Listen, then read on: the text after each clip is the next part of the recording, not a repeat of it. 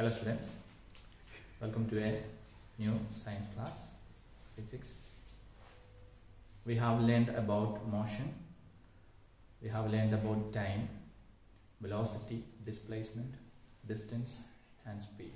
I hope you remember these things. You know what is time. So to measure time we need a counter.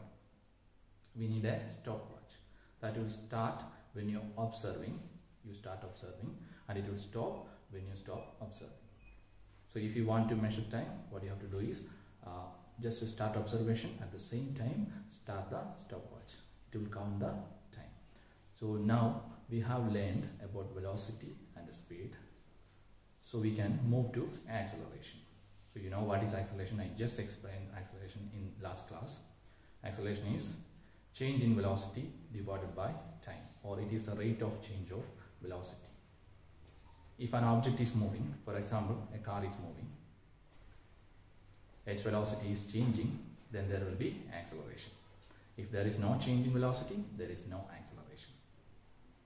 So when you first see the object, that velocity is called initial velocity and when you stop observing, that velocity is called final velocity. Then acceleration is final velocity minus initial velocity divided by time. Time you can get from the time. For example, let's see a car. A car is moving. When you start observing it, the velocity is initial velocity. And when you stop observing it, it's final velocity. Then the time you will get from the counter. Then the acceleration is final velocity minus initial velocity divided by time. I hope you understood that. Then you will come to three cases. The, uh, the acceleration is zero, acceleration is negative, acceleration is positive. When the object is not changing its velocity, what is the change in velocity? Zero. Then the acceleration will be change in divided velocity divided by time. There is no change in velocity, so the acceleration is equal to zero. Another example, you observe the car. The car is moving, but finally it stops. So the initial velocity is not zero, but the final velocity is zero.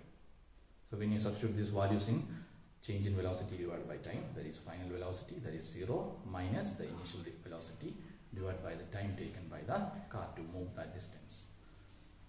Then you will get a negative value, that means it's negative velocity, negative acceleration. Suppose uh, the object is moving with same speed, then you will get acceleration is equal to zero. Let's consider uh, another case, the acceleration is positive. Suppose an object is starting from rest, what is its initial velocity? You can see a car which is initially at rest, then it is increasing its speed or velocity, then it is gaining a velocity when you stop observing it. So when you started, the initial velocity that was zero, sorry, zero, and when you stopped observing, it was moving with a definite velocity. Then the velocity, uh, the change in velocity will be final minus initial, that will be a positive value, then that divided by time is equal to a positive value.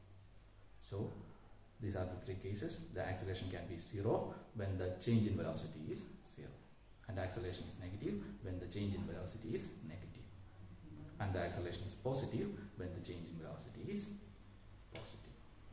I hope you understood the concept.